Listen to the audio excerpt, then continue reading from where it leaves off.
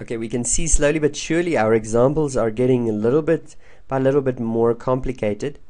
But I do want you to be reassured that it's really simple if we if we simply uh, make an effort to try and get this expression for each term. We can see we don't have an it's, so the idea is to get kx to the power of n for every expression. Here we don't have that. We've got two x's. But that's not a problem because we can write it as 7x to the power of 6 times x to the power of a half. And same with this one, we can have plus 4x to the power of negative 2, x to the power of negative a half.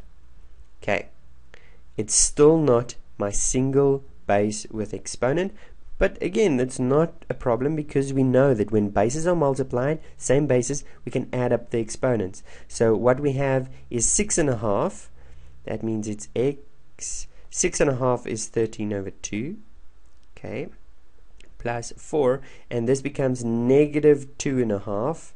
So this is, so I'm just adding these exponents and uh, you could have had it as negative 2 and a half or I'm going to make it negative 5 over 2 okay? Whichever way you're just adding six and a half.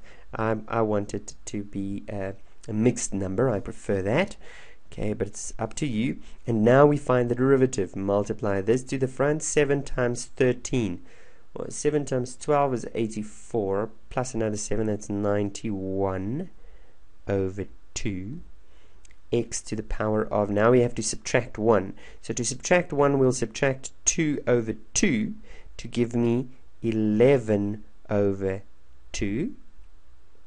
Okay. And then plus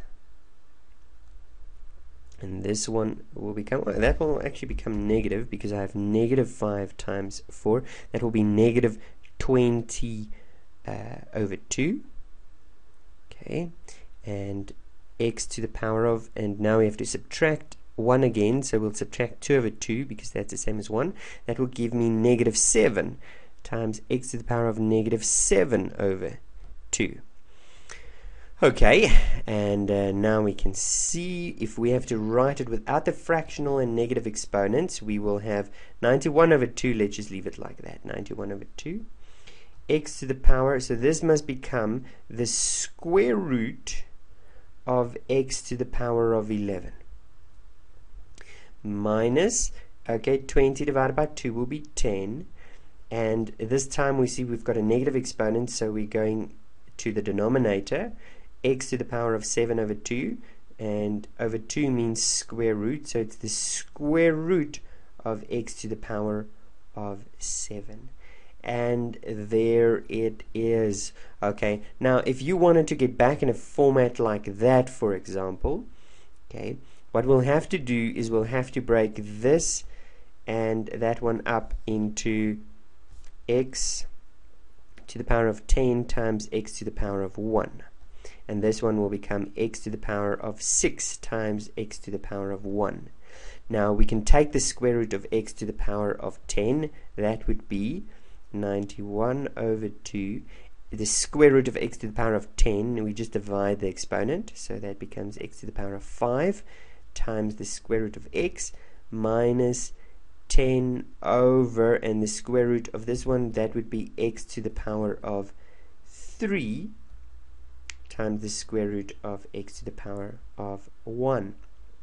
okay it looks it looks like we could have easily found that by just kind of almost ignoring these ones okay? Just subtracting one from the exponent subtracting one there well adding one because it's in the denominator. Um, but the problem is actually finding the coefficient. Because you can see 6 times 7 is not 91 over 2 okay? So we do have to go and uh, first convert it into coefficient base x and exponent and uh, yeah just follow that. I promise you you'll always get it right. See you around